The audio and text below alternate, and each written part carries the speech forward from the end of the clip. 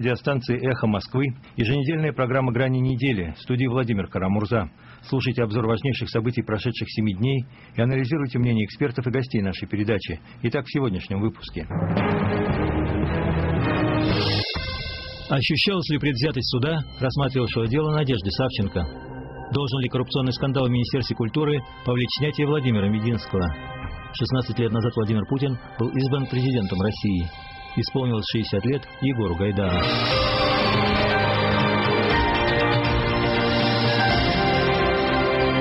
Ровно 16 лет назад, 26 марта 2000 года, состоялись досрочные президентские выборы, назначенные после внезапной отставки Бориса Ельцина в новогоднюю ночь. Набрав в первом же туре 53% голосов, главой государства стал Владимир Путин. С тех пор, включая период премьерства в 2008-2012 годах, он руководит страной. Хорошо запомнил кампанию 2000 года историк Николай Сванидзе. Ну, это была очень яркая избирательная кампания. Яркая была даже не столько она, я бы сказал. В той кампании было все ясно. Реально предвыборной кампании президента была парламентская кампания тогда, в которой будущий президент Путин, а тогда премьер-министр, противостоял двум могучим лидерам региональным Лужкову и Примакову. Они стояли во главе партии Отечества «Вся Россия», они были изначально фаворитами, потому что за ним выстроилась вся региональная элита.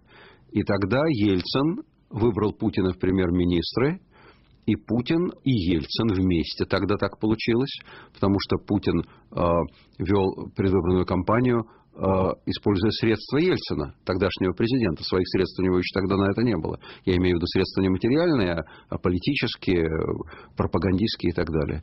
И вот тогда была одержана победа на выборах в Государственную Думу. После этого выборы президента уже были, результат выборов президента был уже очевиден. Путин не произвел серьезного впечатления на политолога Екатерину Шульман. Когда кандидат появился впервые а, в качестве премьер-министра, то он показался довольно невыразительным а, в качестве публичного политика.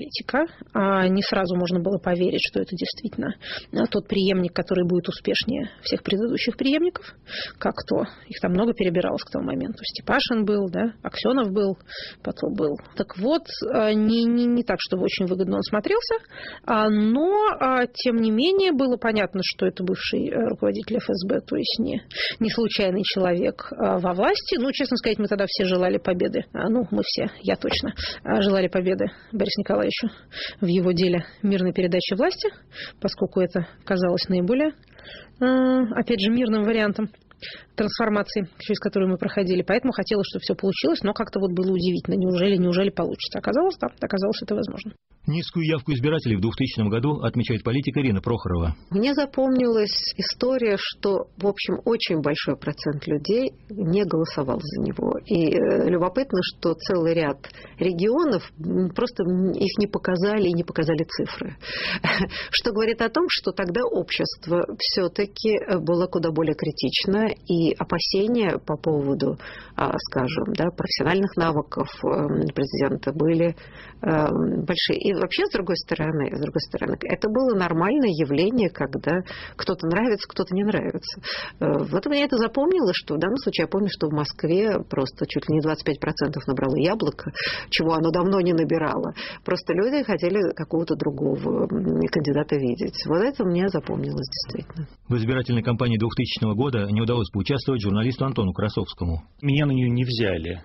Я работал в избирательном штабе Союза правых сил, как бы при фонде эффективной политики.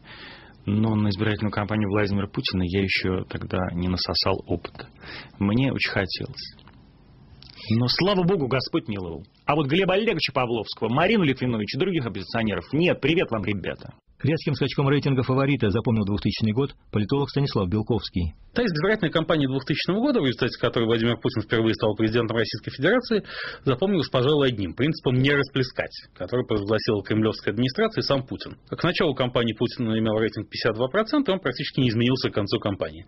Важно было не потерять то, что было уже достигнуто на главном предвыборном мероприятии, а это мероприятие совершилось еще до отставки Бориса Ельцина – чеченской кампании. Выборы 2000 года были неразрывно связаны с войной в Чечне, считает писатель Сергей Шаргунов. Да, избирательная кампания была связана с войной в Чечне.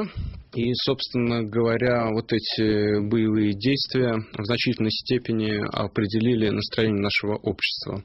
После Хасавюртовского мирного договора оказалось, что Чечня превращена в разбойную территорию, там похищали журналистов, там похищали и убивали официальных людей, которые приезжали из Москвы, там процветала работорговля, были расстрелы на улицах, ну и, наконец, случилось известное вторжение в Дагестан, и у общества сложилось впечатление, что сама ткань государственности расползается на глазах. Вот в этих условиях появилась новая политическая фигура.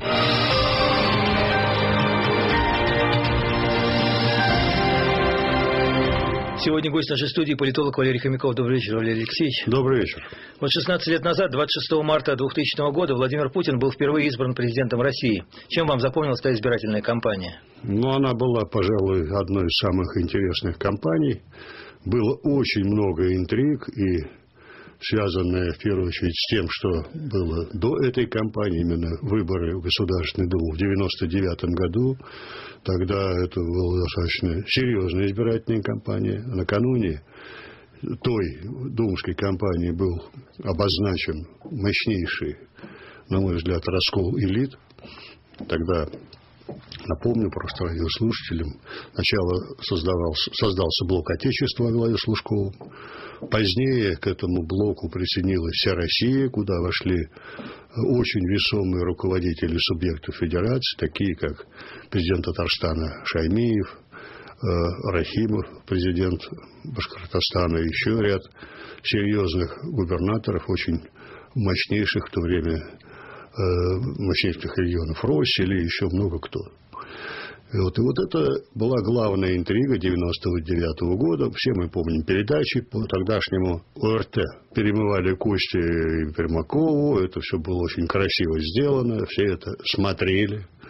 В том числе и я. Это было достаточно э, профессионально. И с этой интригой, собственно говоря, э, Владимир Путин и вошел в думскую кампанию, его использовали уже на последнем этапе, его популярность возросшая после событий. В Дагестане это дело было, взрывы домов в Москве, не раскрытые или обнаруженные случайно, то ли не случайно, попытка взрыва дома в Рязани. Э, Все это, конечно, создало атмосферу страха, и на том фоне Путин явился избирателем где-то уже, наверное, в начале ноября, как некий возможный спаситель страны от этого ужаса, который тогда действительно в обществе присутствовал. Э, за Путина уцепились. Э, блок единства, прокремлевская, созданный администрацией президента, э, куда вошли в том числе и народные дома, была такая структура.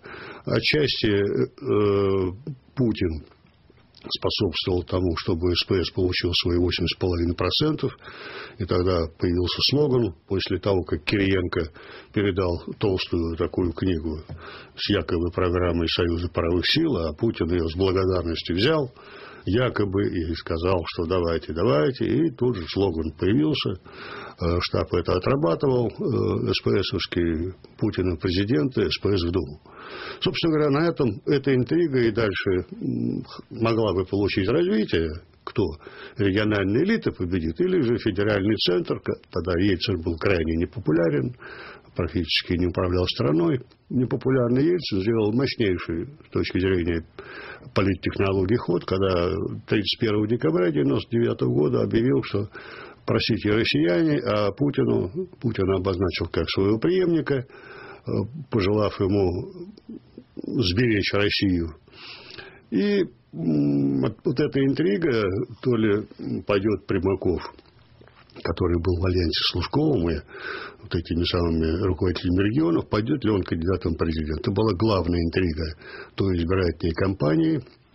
Но в силу, видимо, того, что Борис Николаевич лишил очень важнейшего фактора в любых выборах, это фактор времени, э, то Евгений Максимович отказался. Не знаю, давили на него, не давили, трудно сказать, у меня такой информации нет, но в итоге Путин оказался один – против всех, а все это штаты, набор кандидатов в президенты, среди которых был и Зюганов, и Жириновский, и Явлинский, и Константин Титов, который, которого Союз правых сил не поддержал как кандидата в президента. Это была интрига уже внутри Союза правых сил. Э, я помню, как э, те которые сейчас считают себя оппозиционерами, во что я верю, они тогда на съезде, он подходил под Москвой, на съезде СПС, буквально умоляли, уговаривали Э, делегатов отголосовать за поддержку Владимира Путина. Отношение к Путину было очень неоднозначным. Э, люди Кириенко, который влился э, в союз, состав Союза правых сил под названием «Новые силы», люди Чубайса отчасти поддерживали, а вот такие Э, делегаты, которые представляли собой Демвыбор России, демократов первой волны, что называется, они, конечно, были ориентированы на какого-то другого кандидата.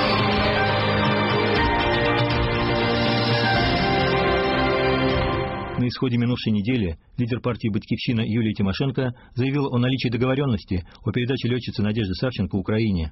Напомним, 22 марта Донецкий городской суд приговорил украинскую военнослужащую Надежду Савченко к 22 годам колонии общего режима за пособничество в убийстве российских журналистов и незаконное пересечение границы. Дело Савченко нуждается в подробном анализе, считает писатель Сергей Шаргунов. Я полагаю, что это дело требует э, дальнейшего подробного и гласного обсуждения.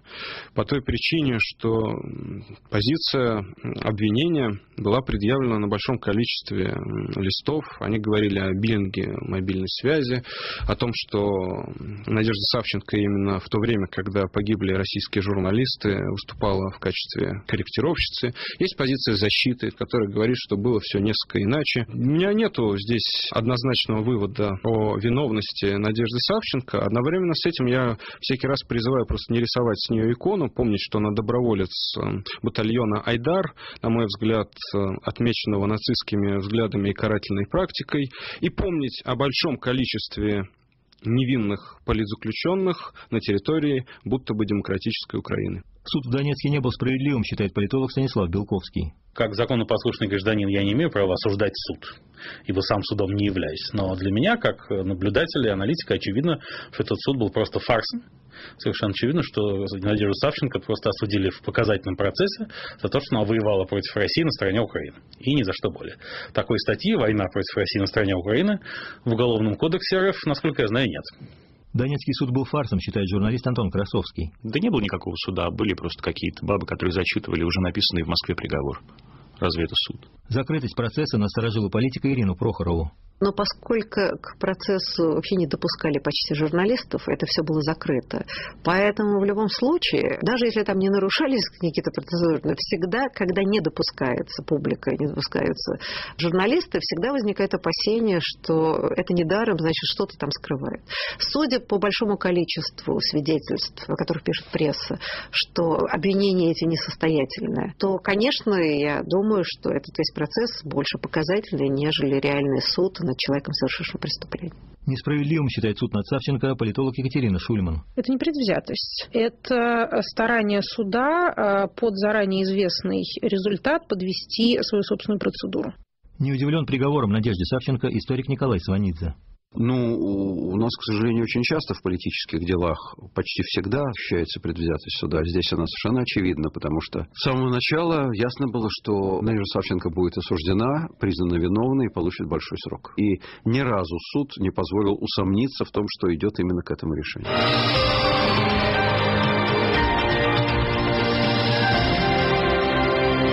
Напомню, что гость нашей студии политолог Валерий Хомяков. Валерий Алексеевич, ощущалась ли предвзятость суда, рассматривавшего дело Надежды Савченко? Предвзятость не только ощущалась, она выпирала, выпирает с самого, пожалуй, начального этапа. Я не понимаю тех людей, которые вот это все сотворили. Я пока вот не вижу мотивации для чего. То ли это глупость какая-то. Ну, надо просто вспомнить то время, это лето 2014 года, Крым наш, Новороссия наш, все наше, э, чуть ли не уже Украина стоит на коленях. И тогда, наверное, многие э, чиновники из силовиков, в первую очередь, наверное, уже думали о том, как бы сделать так, чтобы именно я был ближе всего, вложил мощнейший вклад в победу над этими фашисто-бендеровцами и прочими всякими кого окрестила тогда федеральная пропаганда. И подвернулась вот этот случай. Взяли там в плен даму, барышню, считаете, она достаточно молодая, Надежда Викторовна, она 81 -го года рождения, всего-то там 30 с небольшим.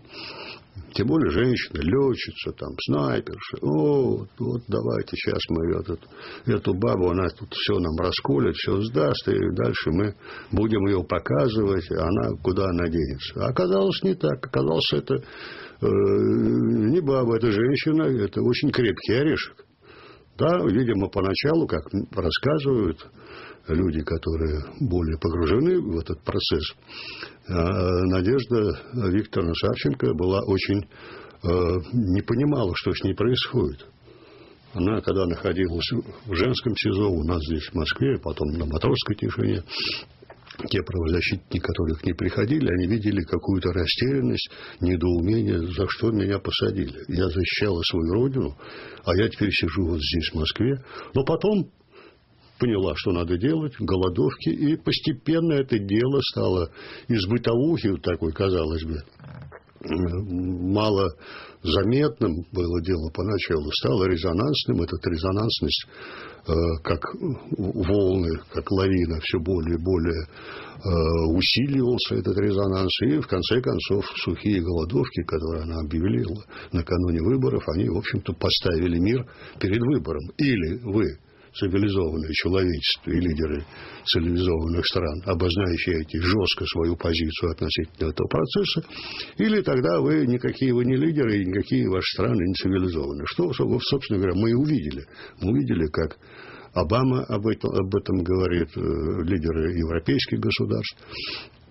И фактически те э, служаки от силовиков, которые хотели, видимо, подзаработать каких-то чиновничьих очков на этом деле, а, оказали медвежью услугу российской власти, э, которое, в отличие от другого дела, оно тоже вроде бы развивалось, я имею в виду дело Светланы Давыдовой, это жительница Смоленской области, которая позвонила в посольство Украины, услышав разговор у себя в Вязьмах, как военнослужащая, ОМГРУшники говорили что-то о Донбассе. Она, исходя из чистых побуждений, хотела предупредить Украину, что вот там вот это она слышала. В итоге ее обвинили в госизмене, говорят, что сдали соседи. И...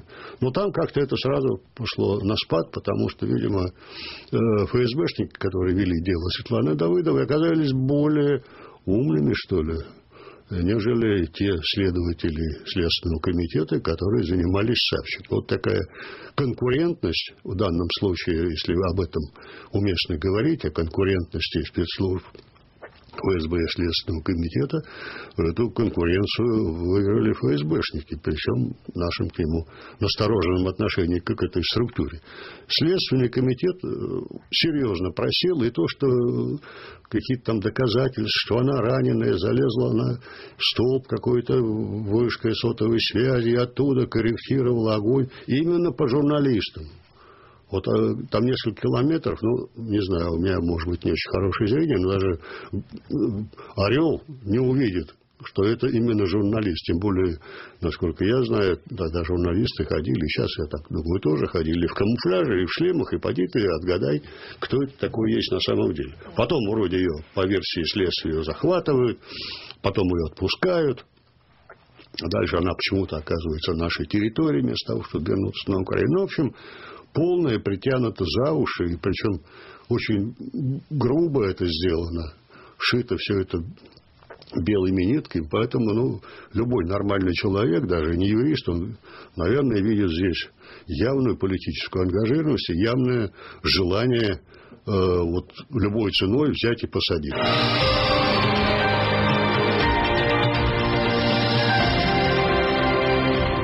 27 лет назад, 26 марта 1989 года, состоялись первые в истории СССР выборы народных депутатов на альтернативной основе. Кандидат в народный депутат СССР по Московскому городскому национально-территориальному округу Борис Ельцин на выборах набрал более 90%, намного обойдя своего конкурента, директора завода ЗИЛ Евгения Бракова. Депутатами стали такие знаковые фигуры перестройки, как Андрей Сахаров, Дмитрий Лихачев, Олеся Адамович, Егор Яковлев, Гаврил Попов, Анатолий Собчак, Виталий Коротич, Сергей Станкевич. 89 год дал старт демократизации общества, считает историк Николай Сванидзе. Именно с тех выборов, пожалуй, началось движение России к, к демократии, а, которое продолжалось в течение все-таки доброго десятка, а то и больше лет.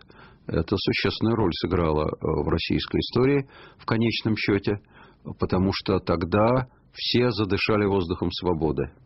Тогда стало ясно, что у нас э, есть свободные средства массовой информации. Тогда стало ясно, что можно говорить то, что ты думаешь, что у нас настоящие выборы. Такого не было при советской власти. Это было очень интересно. Жить стало интересно. Выборы 89 года – первые свободные выборы в истории страны, уверена политолог Екатерина Шульман. Это были первые относительно свободные выборы за, за, за всю советскую историю. Они показали, насколько сильны политические потребности, запертые в людях, не находящие выхода. Они показали, что даже люди, лишенные вообще какой-либо исторической памяти, не говоря уж о собственном опыте, участия в демократических процедурах, стремятся в них участвовать. И как только возможность такая у них появляется, они просто очень сильно этого хотят. Ярким эпизодом перестройки считает выбор 89 -го года политика Ирина Прохорова. Я не знаю, как это ложилось, но мне кажется, это был один из самых ярких моментов в истории позднего советского периода. И это, собственно, было начало реальной гласности и перестройки по-настоящему. И надо сказать, что э, я помню, что мы все сидели, слушали, никто не работал и выбирали. Это был первый, мне кажется, такой этап важнейшей эмансипации общества от диктата идеологии. И тут-то и гражданские чувства э, проявились. И это удивительно удивительно, что после стольких лет отсутствия реальных выборов люди так активно голосовали и слушали, и желали, чтобы кандидаты, демократические кандидаты могли пройти. Я считаю, что это была замечательная страница такого большого социального опыта. Историческое значение выборов 1989 года отмечает политолог Станислав Белковский. Выборы марта 1989 года имели огромное значение. Несмотря на то, что демократы формально проиграли, и большинство в, на съезде народных депутатов э, завоевали коммунисты, все равно огромный наплыв ярких, талантливых людей, борцов, э, в том числе фигур такого масштаба, как Андрей Дмитриевич Сахаров, в легальные официальные органы власти Советского Союза были существенным толчком к концу существования коммунистической системы и к завершению исторического периода существования Советского Союза. Поэтому эти выборы, собственно, э, взорвали ситуацию в Советском Союзе, и если бы их не было, то мы бы жили еще в условиях тоталитарной системы несколько лишних лет. Выборы 89 года – самые демократичные в отечественной истории, уверен писатель Сергей Шаргунов. Ну вот выборы народных депутатов СССР 89-го и выборы народных депутатов России 90-го кажутся мне самыми честными выборами в новейшей истории нашей страны. Тогда был общественный подъем. Но давайте вспомним о судьбе э, съезда народных депутатов СССР. Он был э, ликвидирован народных избранников послали куда подальше. В итоге восторжествовали Беловежские соглашения. А Верховный Совет России тоже, вопреки Конституции, был разогнан. Это тоже такие меты нашей новейшей истории.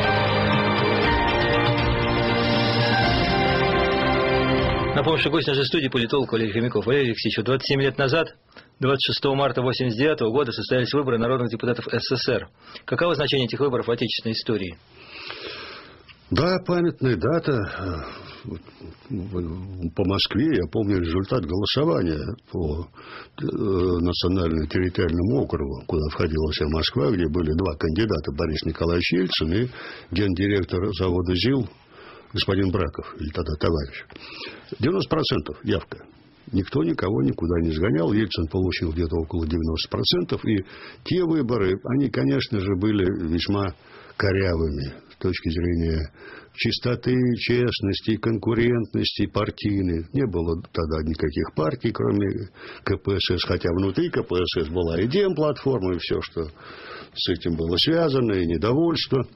А, все сформировался из партийные сотни. Э, от профсоюзов были э, депутаты. От массы других общественных организаций. Где 100, где 75, где один даже от каких-то там то ли птицеводов, то ли овцеводов, не помню уж. Но основная, конечно, интрига была это связано с тем, станет ли Ельцин депутатом, народным депутатом СССР. И тогда именно эта фигура, она приковывала внимание и не только москвичей, а, в общем-то, наверное, весь Советский Союз, поскольку Борис Николаевич, он, э, как он сам писал об этом в воспоминаниях, он выдвигался по очень многим округам. Тогда можно это было.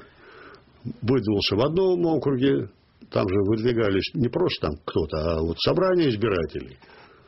Сидит президиум, собрание собирали, безусловно, аппаратчики, райкомов, обкомов и всяческих других комов. И кандидаты. Дальше голосование, там, где один, где два, где четыре даже, пропускали в бюллетень. То есть не одного выдвигали, а несколько человек. Конечно, Ельцин везде практически побеждал, но ему, как я полагаю, хотелось сделать так, чтобы э, тот город, где он, в общем-то, продолжил свою уже союзную карьеру в качестве первого секретаря МГК КПСС, а именно Москва, голосовал целиком, и поэтому он хотел выдвинуться по э, национально-территориальному округу номер один, куда входила вся Москва в тех границах на момент 89 -го года. Среди, я помню это заседание, я там не был, но по телевидению все это показывали, мы, открыв рот, смотрели, как это все происходило. Э, там был Браков, была Зыкина которая тоже хотела, видимо, составить конкуренцию Борису Николаевичу, не без подачи, судя по всему, партийных аппаратчиков, но э, в бюллетене оказался Ельцин, в окончательном бюллетене Ельцин и Браков, ну, Ельцин победил со страшной силой. Вот. Ну, дальше интрига, ну, интрига, интересно было. Я просто помню один эпизод, я тогда работал в военно-промышленном комплексе, и мне по работе надо было заехать э, торговое представительство э, Чехословакии. Они сидели где-то на Пражской, я приехал, прихожу, они сидят, открыв рты, и смотрят наш съезд, трансляцию съезда народных депутатов. Я говорю, что вы смотрите? Ух как у вас интересно. Не до меня, я там приехал с какими-то делами. Садись, давай посмотрим. Вот пиво принесли. Как у вас интересно. Потом у них стало еще более интересно. Сейчас, правда, Чехословакии нет, есть Чехия и Словакия. Но тогда вот я просто почему об этом говорю, весь мир, затаив дыхание, следил за этими относительно свободными выборами э, народных депутатов СССР. Съезд был большой, статистика очень разная. С одной стороны говорят, что членов КПСС было 87%, это, наверное, правда, но туда среди членов КПСС был Николай Травкин, Анатолий Собчак, Гаврил Харитонович Попов, и многие-многие другие, которые потом, э, в общем-то... Афанасьев. Афанасьев, да, он был лидером э, демплатформе в КПСС, и он на тот момент состоял в Компартии. То есть вот и я помню, когда показали первое заседание, вот сейчас это сложно представить. Но тогда, когда Михаил Сергеевич Горбачев, по-моему, открывал это заседание, что-то там они формировали только какие-то рабочие органы, он так встал, зал две с половиной тысячи человек, делегатов, ну, чуть поменьше, депутатов. И он так, кто против? Много рук. И он так пальцем раз, два, считает сам. То есть не было даже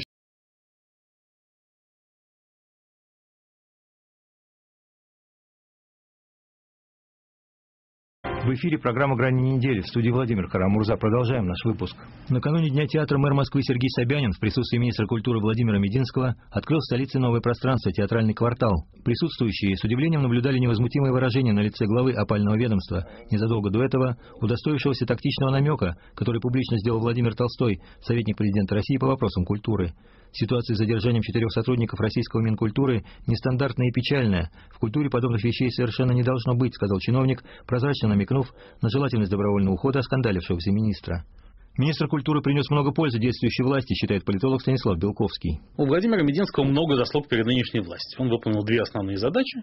Первая – ликвидацию э, представителей старой культурной элиты мастодонтов на постах руководителей важных культурных учреждений от Большого театра до Пушкинского музея, до Государственного музея изобразительных искусств имени Пушкина.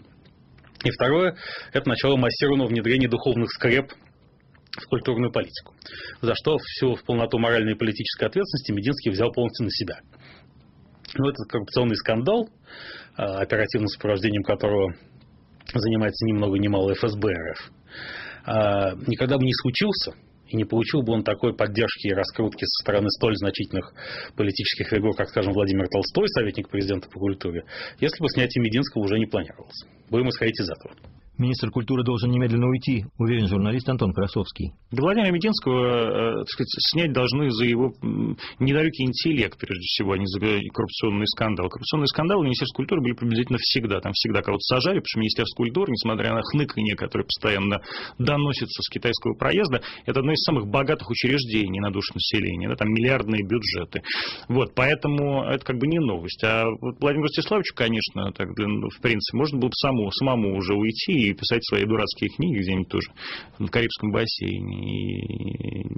И, и, и, и, не, и не ухудшать ситуацию и без того чудовищную для правительства Дмитрия Медведева. Министр напрасно бережет честь мундира, считает политолог Екатерина Шульман. Вы знаете, я боюсь, что каждый министр, чего бы он ни был, а, поступает одинаково, защищает свою э, позицию. Было бы совсем хорошо, если бы он защищал своих сотрудников.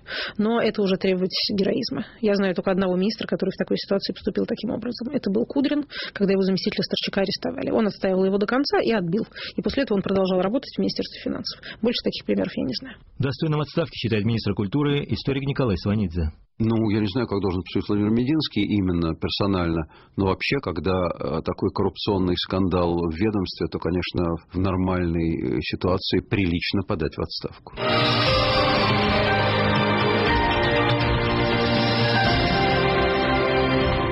Напомню, сегодня гость нашей студии политолог Валерий Хомяков. Как ваш, Валерий Алексеевич, должен ли коррупционный скандал в Министерстве культуры повлечь снятие министра Владимира Мединского? Ну, тут я как-то даже соглашусь. Не часто я это делаю с помощником президента Толстым, который, по-моему, на днях сказал, что в таких случаях подают в отставку. Любопытно было вообще начало этого дела. Когда взяли вот этого самого заместителя...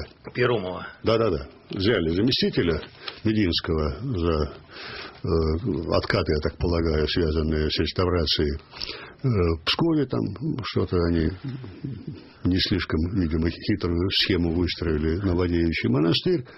Э, Мединский, вернее, его, наверное, по-моему, пресс сказал, что он об этом впервые слышит и узнал только из средств массовой информации.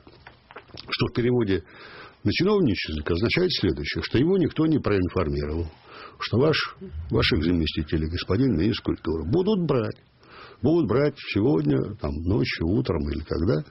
Э, что опять-таки в переводе э, на бюрократический язык э, может означать, что как-то то доверие, которое, безусловно, было у администрации президента и у Кремля министру культуры, оно как-то, наверное, сходит на нет. Либо он просто свою работу сделал, и так-то могут посчитать по известной формуле. Мавр сделал свое дело, Мавр должен умереть. Да? Поэтому я думаю, что Мединскому, наверное, надо было самому пойти на такой шаг и по крайней мере, сделать заявление, что он, по крайней мере, приостанавливает исполнение служебных обязанностей как министр до окончания этого процесса, как делают в других странах. Вот. Ну, чего не хватило, не знаю, то ли смелости, то ли решимости, то ли посчитал, что все это рассосется, я думаю, не рассосется. Если помощник президента говорит такие слова, это, наверное, означает, что это не только его мнение, а мнение, может быть, и Владимир Владимирович Путин. Ну, конечно, Мединский не потеряется. Я думаю, что он получит, если уйдет в отставку или его уйдут, получит достойный пост, но с учетом нашей накатывающейся избирательной кампании Государственную Думу, а не за горами и президентские выборы, с учетом того, что Э, то ли своими усилиями, то ли усилиями своих помощников Мединский э, стал все-таки достаточно одиозной фигурой, увольняя людей весьма достойных и не защищая тех, кого увольняли без его ведома или, может быть, без его подачи, но тем не менее. И дело, э, которое связано с, архивом, когда ушел в отставку вот этот очень интересный человек, Мироненко. Да-да-да, да, Мироненко, который сказал, что все это мифы, говоря о 28 пан панфиловцах. Причем не просто сказал, а он привел доказательства этого, что это все фейк, как сейчас говорят. вот, за что Мединский его критиковал. Вот. Но тем не менее, я думаю, что захотят, может быть, выпустить пар в Кремле, что вот ладно, вам не нравится Мединский, он тут начудил достаточно много, наговорил, иногда и, может быть, не совсем даже нравящихся Кремлю всяких тезисов, поэтому могут убрать. Спасибо, напомню, что сегодня наш гость, политолог Валерий Хомяков. Продолжаем наш выпуск.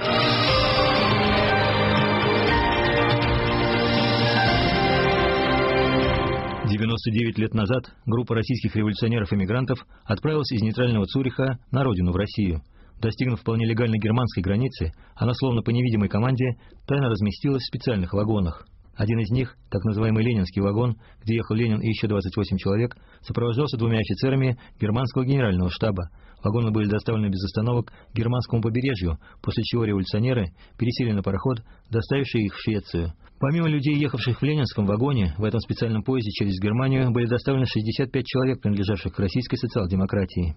Ленин мог быть германским шпионом, допускает политик Ирина Прохорова. Я не знаю, это надо спрашивать историков, потому что есть разные исследования, где вроде бы действительно говорится о том, что, в общем, Германия отчасти делала ставку на революционеров. Я, честно говоря, боюсь на эту тему говорить, не знаю. Даже если бы э, был он не был агентом, я думаю, что в данном случае то, что произошло в России, это вовсе не происки Германии а это трагическое стечение обстоятельств, колоссальное количество ошибок, груз традиций, нереформированность, наконец. Да, в данном случае всегда проще сказать, что кто-то совершил какой-то заговор, чем снять с себя ответственность за произошедшее. Не верит в предательство Ленина журналист Антон Красовский. Я не историк, я этого не знаю. Я думаю, что Ленин был агентом германского генштаба приблизительно так, как а, люди, которые сейчас возглавили Крым, были агентами российского генштаба.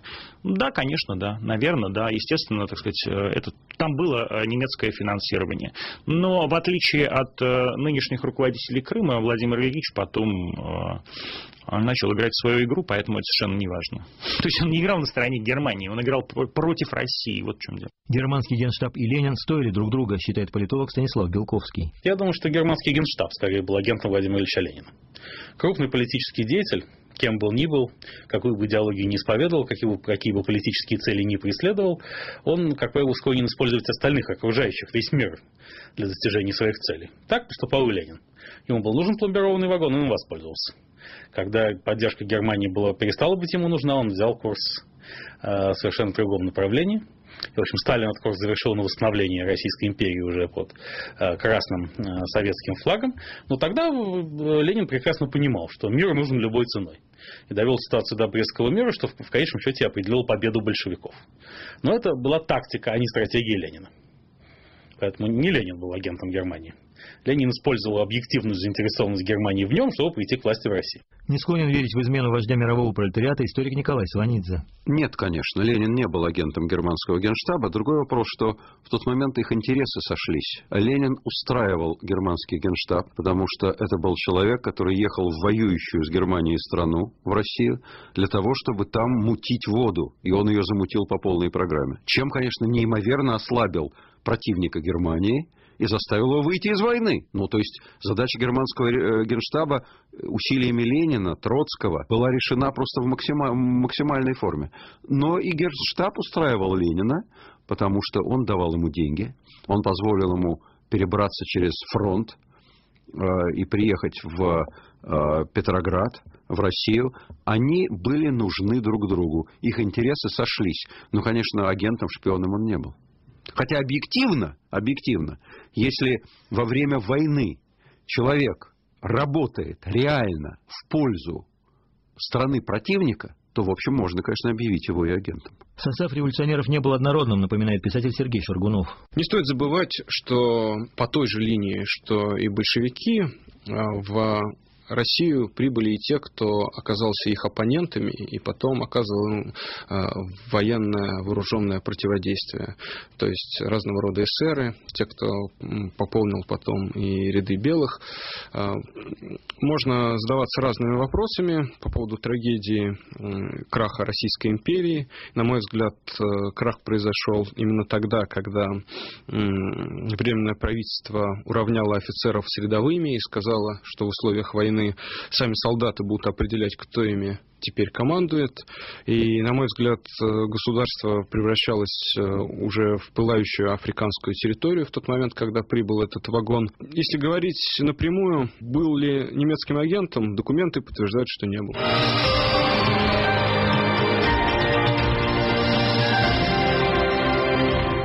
Минувшей неделе Егору Гайдару, одному из главных идеологов и руководителей экономических реформ России, исполнилось бы 60 лет.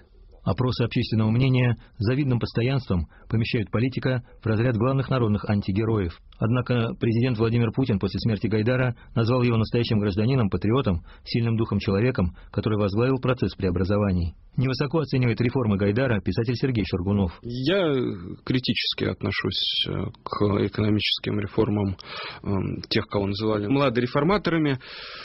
На мой взгляд, э, гуманизм, человеколюбие, то, что э, было оставлено по боку нужно было думать о миллионах людей, которые не готовы к шоковой терапии. На мой взгляд, и приватизация предприятий за бесценок, и свободный отпуск цен, и последующие залоговые аукционы, все это имеет некий общий знаменатель. Людям внушили, что главная ценность жизни – это деньги.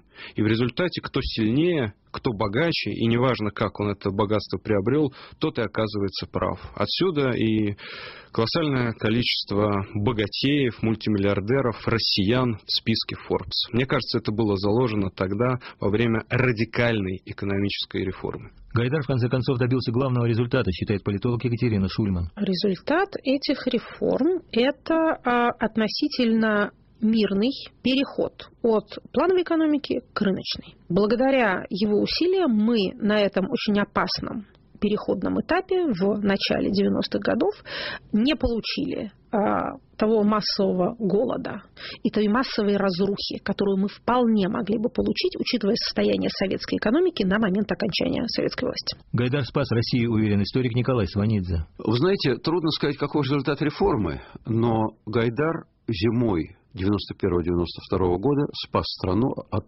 голода. Это реальность. Стране грозил голод. У страны не было денег, у страны не было золотого запаса после развала страны и во время развала страны. Развал страны произошел не в одночасье в Беловежской пуще. Не было денег выкупить хлеб, не было денег на, на то, чтобы оплатить суда, которые везли хлеб из-за границы. Советский Союз был э, главным в мире импортером хлеба. Предстояла голодная зима. Это была главная задача с этой задачей Гайдар справился. Он накормил страну. Прошло несколько месяцев, и уже голод не висел, и были полные прилавки. Другого варианта просто не было. При любом другом варианте был бы голод, революция и дикая кровь. Я считаю, что тем, что Ельцин позвал Гайдара именно, а никого другого в тот момент, он спас страну. Они оба ее спасли. Сейчас можно сколько угодно говорить, критиковать, а вот надо было так, а вот надо было эдак. Чушь собачья.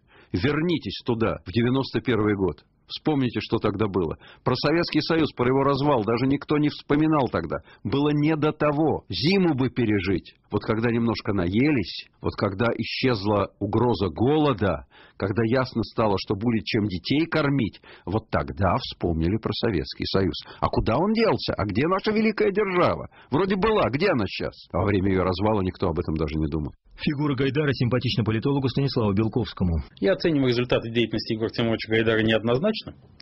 Но сейчас, в, в день его юбилея, я хотел бы сказать о нем хорошие слова. А, мне нравится Егор Тимурович Гайдар тем, что он ставил перед собой максимально амбициозные задачи. И даже те ошибки, которые он совершал, зачастую ошибки очень тяжелые, может быть, трагические, были связаны с масштабом тех перемен, которые он осуществлял. Сегодня, когда мы видим в Российской федеральной бюрократии в основном фигуры мелкие, заинтересованные преимущественно личным обогащением, мы понимаем, каким титаном был на самом деле Егор Гайдар, как бы не относиться к тем или иным аспектам и результатам его деятельности. Гайдар создал в России капитализм, уверен журналист Антон Красовский. Мы не голодаем. Мы живем в капиталистической стране. Это плохая капиталистическая страна. Это не свободная капиталистическая страна. Это страна с регулируемой государственными экономиками, государственными корпорациями, но это капиталистическая страна. А жили мы в стране социалистической и голодной. А И в этом, и в том, что мы не голодаем, и можем выезжать за границу и не чувствовать себя там дерьмом, в этом заслуга двух людей, просто двух людей, Бориса Николаевича Ельцина и Егора Тимуровича Гайдара. Гайдар заложил основы рынка, признает политика Ирина Прохорова. Я думаю, что в сухом остатке то, что пока мы до сих пор существуем, как страна с э, так или иначе развивающейся экономикой, несмотря на все попытки это разрушить, это заслуга Гайдара. Он все-таки заложил фундамент, который оказался очень прочным и до сих пор нас держит. И более того, хочу заметить, что на самом деле его пребывание во власти было очень краткосрочным. И тем не менее, и тем не менее, даже вот это краткое присутствие позволило стране 20 с лишним лет не только устоять и преодолеть разруху, но все-таки долгое время развиваться развиваться в правильном направлении, пока этот процент не был восстановлен.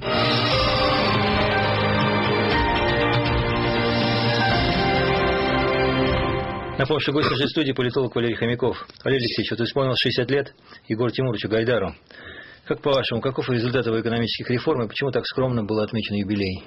Да, 60 лет было бы уже Егор Тимуровичу. Я просто вспоминаю первую встречу. Это был э, декабрь 91 -го года, когда Егор Тимурович только-только был назначенный исполняющим обязанности премьер-министра, и тогда я был руководитель, один из руководителей Демократической партии России, членов партии, руководитель партии собрали у Егора Тимуровича.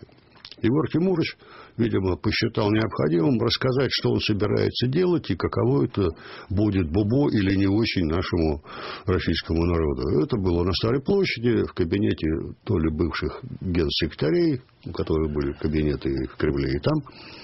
Э, Алексей Люкаев подавал чай, он тогда еще Егор Тимурович говорил, Леш, давай побыстрее чай подавай, а то ребят тут замерзли, холодновато было. И что мне понравилось, такой живой достаточно человек, молодой в то время еще совсем. 35 было. Да. Он, вот несмотря на ту молодость, он мне показался очень мудрым человеком. Я старше его, но я понял, что он очень серьезный человек, и когда э, он не стал юлить, он не стал рассказывать сказки, как мы до этого слышали от всяких наших генсекретарей, политбюро и эти самые исторические всяческие исследования. Он сказал, будет очень плохо, будет тяжело. Он не называл это шоковой терапией, хотя в то время этот термин уже был который пошел из Польши, связанный с именем Лешика Бальцеровича, он сказал так, что э, терапия уже не помогает.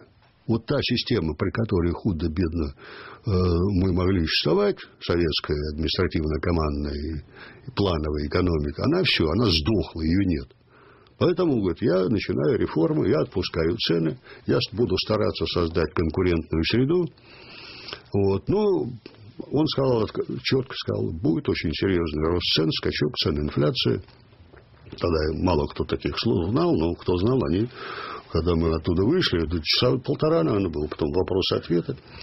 Вот. И я понял, что мы на пороге очень серьезных изменений в нашем обществе, серьезнейших, которые коснется всего народа, что будут много недовольных, что, в общем-то, и оказалось, и Егор Тимурович это прекрасно знал, он прекрасно осознавал, на что он идет, но он понимал и другое, что без этого мы бы действительно оказались либо на грани гражданской войны, когда за, куском, за кусок хлеба, или откровенного бандитизма и разбоя на улице, когда отбирали бы куски хлеба, грабили квартиры, врывались туда и все остальное.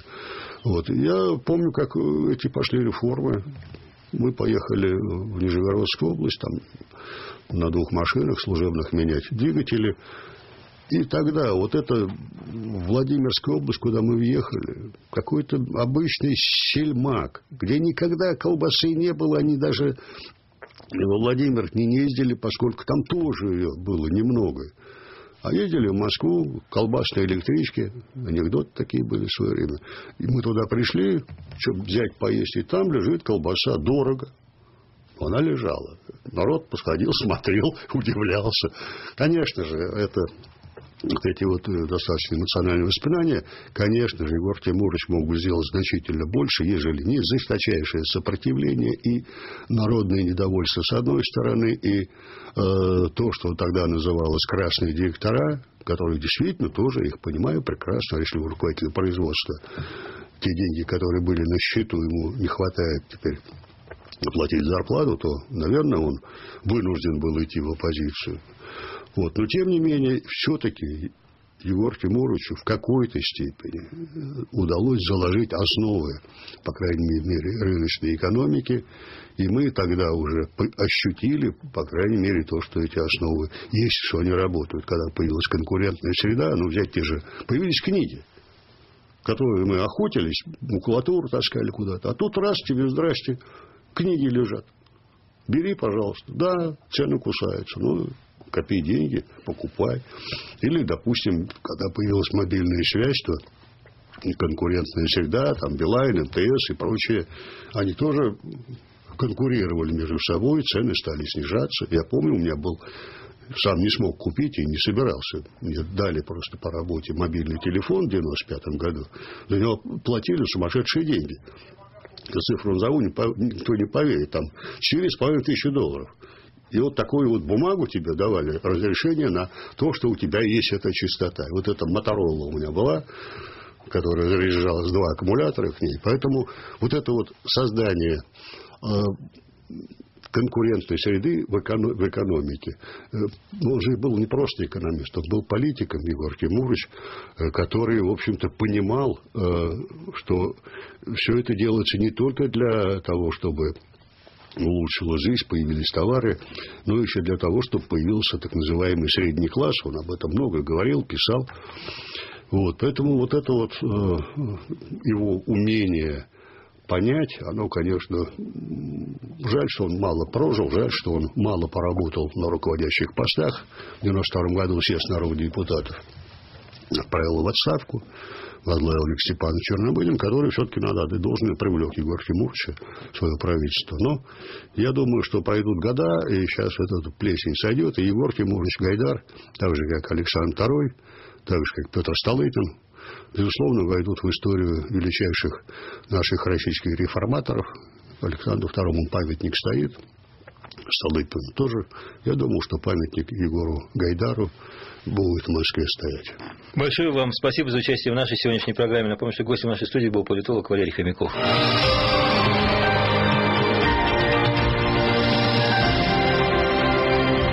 Это все о главных новостях уходящих семи дней. Вы слушали программу «Грани недели» на волнах радиостанции «Эхо Москвы». В студии работал Владимир Карамурза. Всего вам доброго.